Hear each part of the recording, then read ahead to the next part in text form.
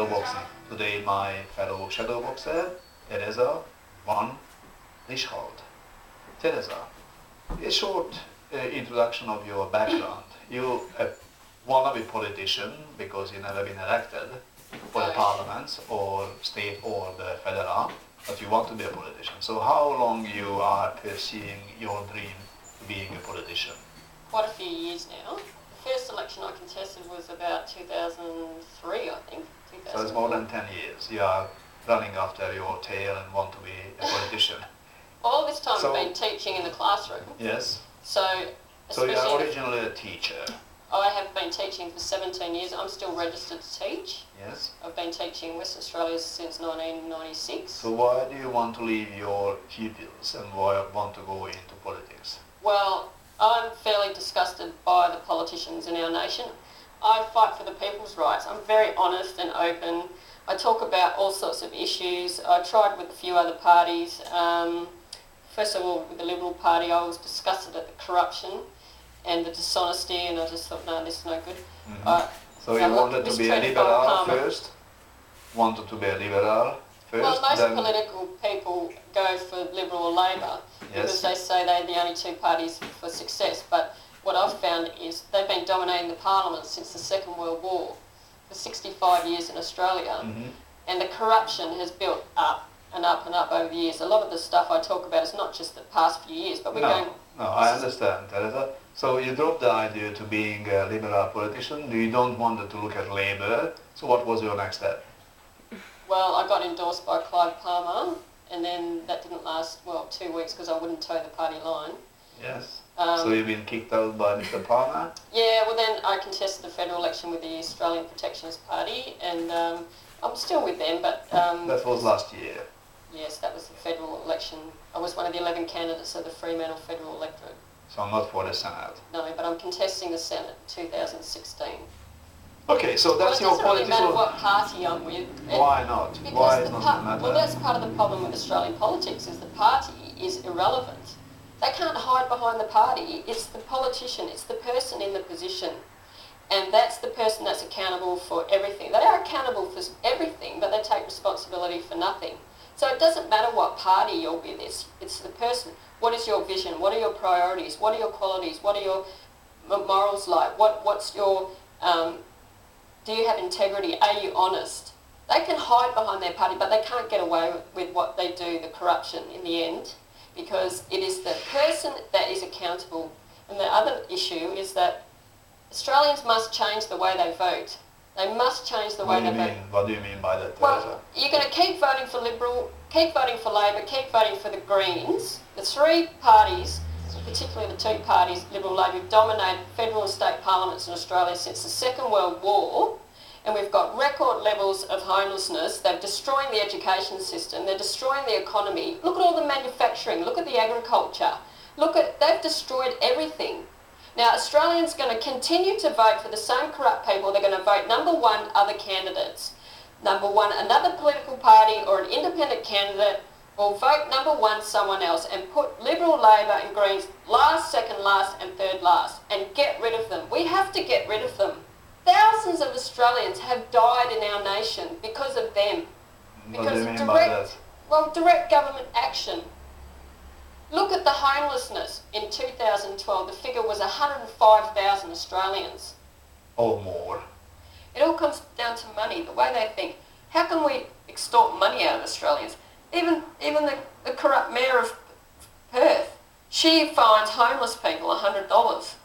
She thinks that's a legitimate way or, or some, some sort of appropriate way to treat people who've got nowhere to live and no money. And she does it, to, they do it to get rid of the homeless people so the public can't see them. Then they use the police to get rid of the homeless people, lock them up, drug them, or put them in jail, or put them in psychiatric facilities. They are killing people in psychiatric facilities. I have called for two years for a Royal Commission, a Commonwealth Royal Commission to prove it. Now, I'm not someone who's just walked off the street and uh, making these allegations. Enormous amount of research. Look at the evidence. People know that it's going on. They are poisoning people all over the world with those drugs. And they've been doing it for decades, locking people up, forcibly locking people up, drugging them to death, drugging them in the community, drugging them, drugging children. They want to sterilise children in Western Australia, take them off their parents for 14 days and lock them up in drugging. It's disgusting. Then you've got the prevalence of suicide in Australia at the research, preliminary research I've done about the last four decades. About 80 to 90,000 Australians have killed themselves from suicide. And how many are dying on the roads? The death to- road death toll, interestingly for Western Australia, the 2012-13 figure is 187 in Western Australia, and the psychiatric death figure resulting from psychiatric practice in Western Australia is 245. Now that's So it's much higher than It the is- road. they are killing more people through psychiatry than they, that die on the roads. That's just the West Australian figure. They've also jailing record levels of Australians for money to extract money, government imposed economic fees and fines. In West Australia, the jails are full, not of murderers and rapists and pedophiles, but they are full of poor people, poor Australians, and they've been jailing them for years for money.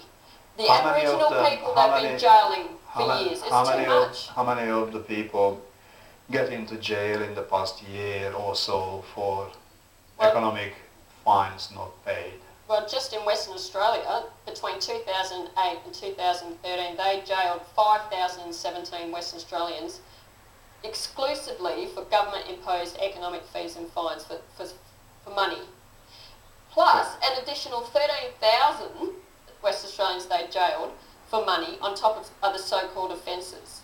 So rather than create jobs for these people, rather than make it easy for people to drive, make it easy for people to find accommodation. They are just jailing the poor people.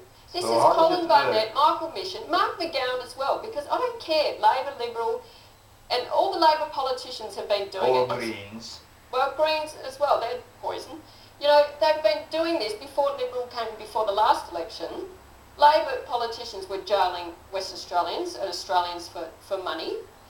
In um, New South, let's look at the other states. New South Wales, they have just cancelled 300,000 licences, driving licences in New South Wales 300,000 of them. because of government imposed economic fees and fines. The government is doing it. So how do they think that's effective man- management of the economy? They, Or life.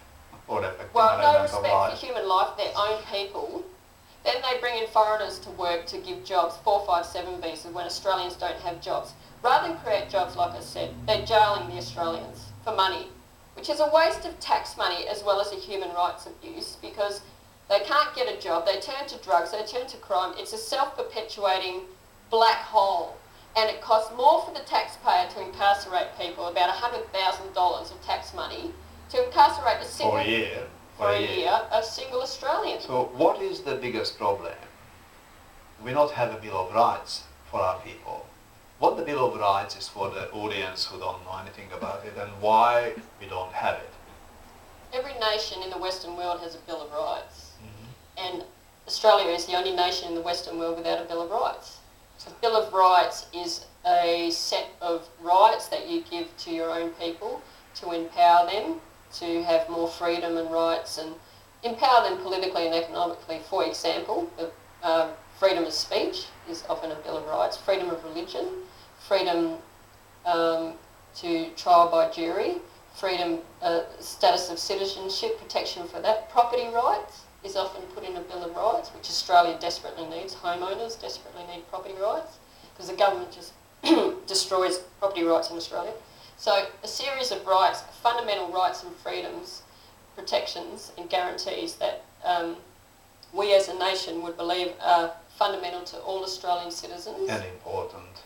fundamental and important and uh, critical to basic living and well-being and um, even the right to housing, a right to a home, a right to a job, a right to, you know, um, it's about freedom really. It's, it's to stop government incursion, unnecessary incursion into people's lives or So- brutality. Why don't we have that?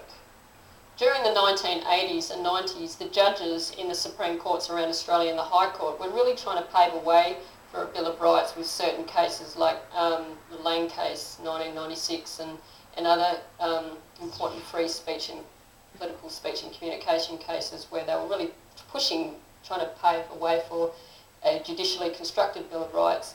And they did a lot of good work, the judges in the 1980s and 90s, and the lawyers and the teachers in that time to try and pave a way. But the politicians keep blocking it all the time. What do you mean by that? absolutely that the What, politicians what in do you mean nation... by that? How, how the politician can block these things? Well, they it's they create legislation. They create Yes. leg- legislation, so it's up to them to create a Bill of Rights legislation to for the people of Australia, and they But they're not doing it. No, in fact, in 2000. Any reason for that, you think? Well, because they're corrupt. They don't Have want they to share their power. The Bill of Rights is beneficial to especially Australians who are suffering, the homeless people, the people who have no rights when they're just thrown in jail for money and, and that sort of thing. That, that A Bill of Rights really provides some protections and guarantees for people like that, the people that need it the most. Now, politicians don't care about those people. They don't care about us. And where they're forced to um, say, we want a Bill of Rights, and they, they won't introduce one because it maintains their own power and control. And they may argue that it undermines the democratic process where you go to uh, vote in an election for certain candidates and that's the, that's the representation. Now, under the Constitution, they're, pro- they're supposed to provide representative and responsible government, but they don't do that. How Yes. they're providing representative and responsible government when we've got so many homeless people and they're destroying the education system and destroying the economy? But that's so we what's have to fight. We It's have to fight to get rid of them. We Yeah, I, underst- out. I It has to be understand that. I and understand. to get new people in to who will... Teresa, the new people don't want to have Bill of Rights. The politicians, who we got the right to elect freely, they're not keeping that as an important thing and they're not focused on Bill of Rights. They're focusing on other rights, the rights for equal marriage, the, the rights of the sharks to eat people. Yeah. They're all up to some very important things in Parliament, but Bill of Rights is not coming into that equation. So that's Well, all I can say is that I yes. have advocated for many years for a Bill of Rights. As a teacher, I have. As a published writer, I, I wrote, I've written sections about it in books that I've written about the Bill of Rights. I wrote a big section, a huge section about the Bill of Rights and the submission filed with um, the Supreme Court. I've talked about it on YouTube, the necessity for a Bill of Rights. I understand so there's lots that. of times when I when I have mentioned it. So You know what so my problem is with Bill of Rights? Political candidates who are doing it. If when I'm looking at the countries in Europe who all got Bill of Rights, or the United States of America, Yeah. they're not really working for their people. So having a Bill of Rights and abusing the Bill of Rights, what they introduced for their people, is just as useless as not having a Bill of Rights. yeah. So my problem is again as yours, probably, uh, go It's back to the enough. basic, it's not enough, it's not even the beginning. I agree, absolutely, and there are commentators in legal texts who've said the same thing, that on its own a Bill of Rights is not enough. And I agree with you that we need more, like a citizens um, initiated referenda, CIR, where, like national plebiscites, where the voters... We need direct democracy and Correct. active and Yes. active I democracy. agree. On that note, Teresa, we have to go for a short break, but please stay with us because we're coming back after this break and continuing our discussion about freedom and human rights with Teresa.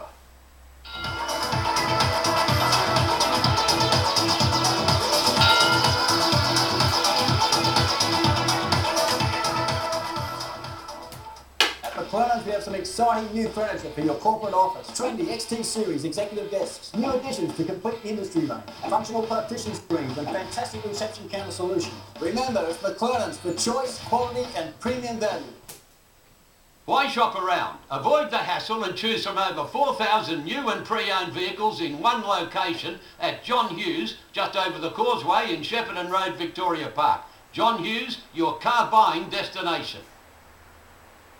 All aboard the 15-day Great Java Rail Tour through exotic Java. Discover some of the most spectacular tropical scenery in Asia while you travel in private luxury carriages and sleep in first-class hotels. Phone for a free brochure today. When I was young, filmmaking was just a dream.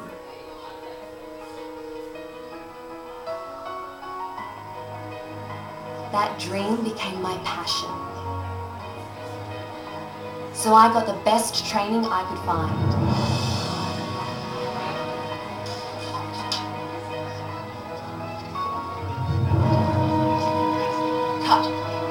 Now that training's given me a brilliant career.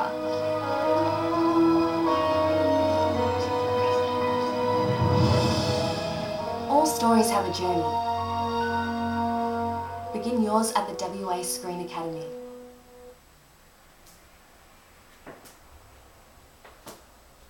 You never really quite know where you're going to end up. You have an idea in your head. Sometimes the end result is quite close to what you had intended and other times it's totally different. You really don't plan the, the, the big things that happen in your life, I don't think. They just happen, serendipity.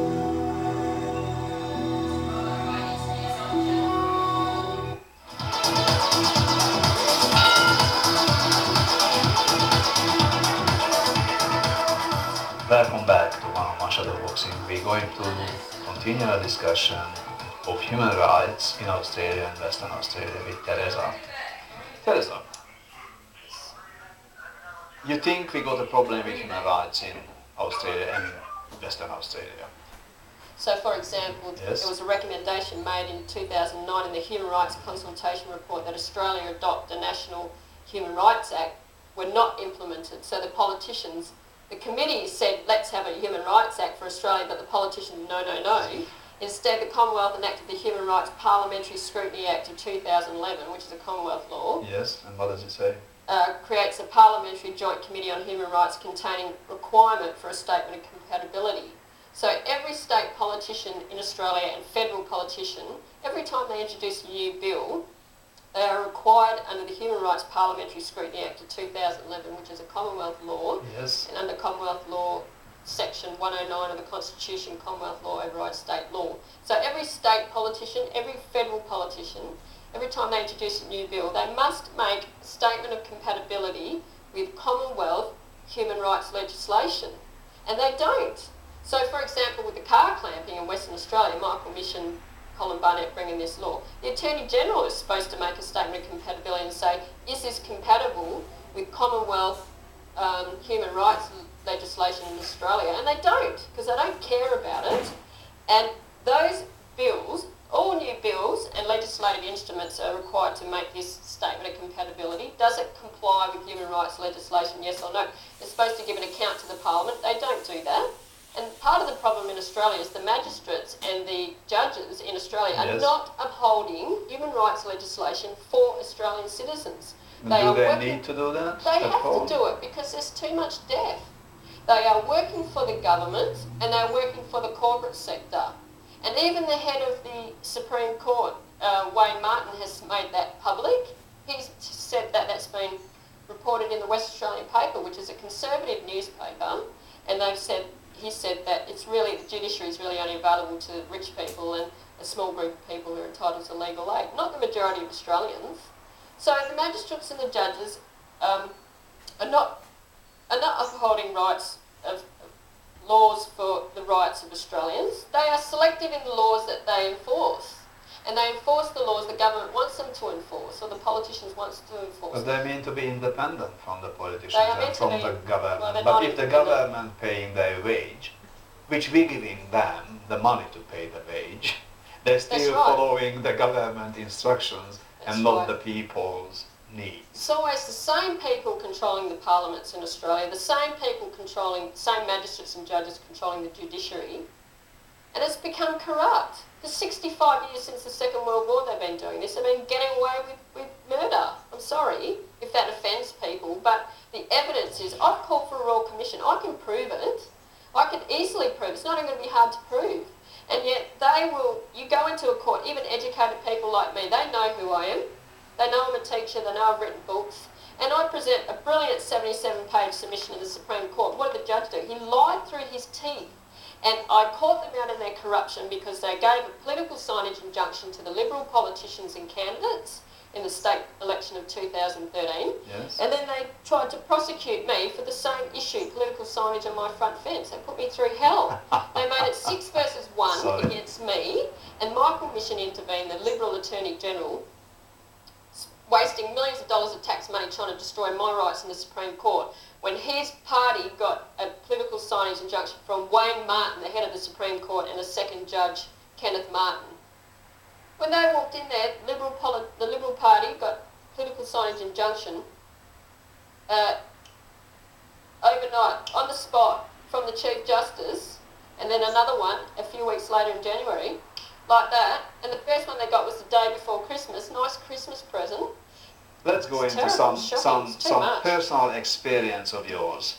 So you don't like politicians, you don't like the government, you hate them so much because they're corrupt. You say you hate them so much you don't want to pay the taxes, you don't want to pay money for them uh, on uh, different penalties which you should or they think you must.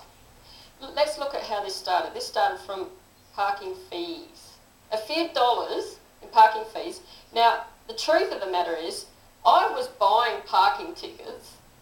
I bought hundreds of parking tickets. I was doing my Master of Education in Notre Dame. Fremantle is shocking for parking in terms of they're just extorting money, revenue raising. The councils across the nation are doing it. They don't care about the impact on you. I was buying parking tickets. It doesn't matter how many parking tickets you buy, they still find a way to fine you because they're ruthless. They're doing this to thousands of people. The evidence is 715,000 fines in Western Australia. Hundreds of thousands of Australians won't pay, not just me. So this affects hundreds of thousands of Australians. Now, so it's like one year, okay, $650 worth of fines, probably like most other people out there. And um, I paid it all off. So you pay the parking fees. I What's did. happened I paid So how, $650 so worth how do you accumulated now 7,000 plus Well, the fees? next year, the following year, it happened again. I was buying parking tickets, and they still find a way to find you. And I thought, this is ridiculous. This is this is this cannot go on. I'm not going to keep forking out money for nothing to them because they're just ruthlessly doing it. So I thought, that's it. I've had enough. Oh, you So- accumulated 7,000 plus fees. No, I didn't accumulate that much at So all. how, how it's does based it on appear about on the... Yes. 15 parking fines or something like that over over the course of a few years, which I've refused to pay. They start they fine you fifty dollars, then they double it to hundred dollars, and then they add a, um, some enforcement fee on twenty five dollars. So it becomes a parking from a parking ticket of a few dollars to one hundred twenty five dollars. And then, of course, you, you get, you know, maybe a dozen of those, and the next thing it's up to $7,900. So what they did, based on that, they destroyed my license, my car driving license. They destroyed my bus license. They mm-hmm. destroyed my car registration. They put an economic amount over my home now for $7,900. That's the sheriff's office. There was no court hearing for me to give my side of the story. Yeah. No, there's never been a court hearing to give my side of the story until after they clamped my car and I cut it off. I made a YouTube video and I put it on YouTube for the public's information. I wanted the public to know what the government was doing to me. Yeah. Now, the clamping has happened, you cut the clamp Cut off, the clamp. then the sheriff reported that thing to the police. And the No, police, I don't know if they did. Someone in the public or someone in the government, who knows? Someone in someone reported it, and the To the police, police. started investigation. So the, the police, police come to my come home to your this home phony so-called search warrant that's Yes. got the line blacked out. It, the, the police officer in charge, seven officers, six men and one woman, he lied to me about his name, said his name Vic or Victor. You know, I was in shock. I, I was trying to see how many police officers. Oh my God, how many of you are there? Now, your problems are, one is the blacked out document. Blacked out. Why is it blacked out? What did they say to you Well, the when reason- asked them? The reasoning they give to me, to me is that they say they're doing it to protect the magistrates and the judges. What do you mean protect the magistrates and the judges? I mean, their names are public. They got the, all the protection what they need. Well, there's no law that allows them to do it. What law in Western Australia or Australia allows them to do this? They claim that they're enforcing the political law being in my home mm-hmm. to charge me over a Nazi government metal clamp that I cut off my car. So what? Get over it. You're trying to extort money out of me and you're using that money for wickedness, like the Bible says. And then you say you, you claim you- you're enforcing the political made law, yet there's no law that allows you to black out this name in WA or Australia. And furthermore, you could be lying about this. Like he lied about your name, I said. He lied about his name. And you could be But claiming that you yeah. got permission from a judge or a magistrate or a JP to come to my home with seven officers. But that could be a complete lie as well. Because Mm. how can I verify that when there's no name? That's a good question. And that Teresa? for every Australian, the same thing to go into your home and do. That's like Nazism. I'm sorry. This is totally. They stole my intellectual property, two laptops, an external hard drive, my video camera. I was And they've done it all against a woman. against a woman. I had this thing in my hand and a video camera in my hand. They threw me to the floor, face Yes. first. They got my left arm, yanked it up like this until I was crying, hurting me, and there's seven of them. And then um, they cuffed me. My, they damaged my arm. I'm left-handed. I used to be a phys ed teacher. I'm fairly strong. And now, when I bend my arm like this, I've got pain through here. When I do the dishes, my arm is sore. It'll never be the same again Yes. and then searched my home. Then they took me to the station. They fingerprinted me. They took my DNA. They Yes. interviewed me. They took my All photograph. the usual stuff, I yes. did not consent. There's a form on there, and it says whether you consent or not consent. And I said I did not consent to what you're doing because this I've got no rights here, no lawyer. I rang a lawyer. I Yeah. rang a legal aid lawyer. They wouldn't even come to the station. Mhm. And um, then he, the police officers lied about that too. Like, the lawyer told me they have to give you a summons or a bail undertaking. Uh, Yes. Those are the options. They didn't give me those options, just a bail undertaking. Let, let's go in order. So they let you go home on a let you ba- go. bail condition. Yeah, Then they obviously filed the charges at the court, yeah. and the court sent you a letter to appear. No, I didn't get anything from the court. But you got an invite for the hearing to go. No, I didn't from the court. No, I So got who this. do you got the, the invite from? Well, the police have it in their record. It's the paperwork is shocking. It's so shoddy, and it's not. Um, So you've got the knowledge, you- you- there, you see? got the- they yeah. give you a date and a time. So you know. force you to sign this to go home. I see. You can't okay. make any statement or anything. Okay, so you got the information and the 17th is going to be here. And then I wrote a three-page submission um, with the magistrates court. They know who I am down there. I, I filed it. They know I'm a teacher. I wrote all that in my submission. So and then I didn't case, show up. Now they want to jail me. Now the police uh, I came to my home one. Um, they came once, and I wasn't home. I'm living like a fugitive, staying at people's houses. Yeah. I'm looking at seeking political protection from another country because of this. Because if I'm at home and they catch me, they'll jail me for this.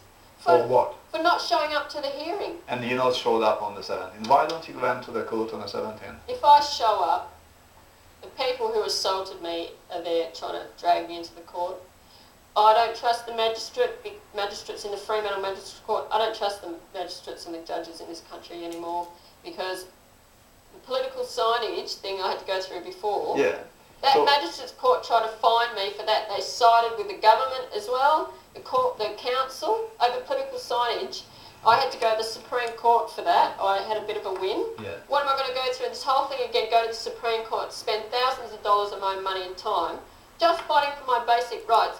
If I go to that court in Fremantle, I'm in their clutches. You know, the police are there. They, if the judge decides to be nasty and not listen to anything I say or Yes. uphold the human rights legislation or any of the legislation that I've identified, Yes. like I said, they choose what legislation they want to enforce, Use, Yes. and then that's it. I'm in their clutches. No, Miss Van Lieshout, you're going to be So, locked up. Teresa, I'm not risking that. but if you're not going to the court, you're going to be locked up anyway. If they're well, catching I'm a smart lady. I've, I've, I've made plans. I, Yeah, that's I'm, good. So what's the I'm not going to go to jail for my political and economic views. I have to look at living in another country and coming back to contest political elections. That's what it's come to for me, Mm. you know. And and they've driven a great teacher who was born here. I was born in this nation, out of this country, because of their political and judicial corruption. Teresa, thanks very much for coming into the studios. Thank you, Table. It was nice talking to you again. It's good to see you again, John. Don't forget, next week, same time, same channel. One-on-one shadow boxing.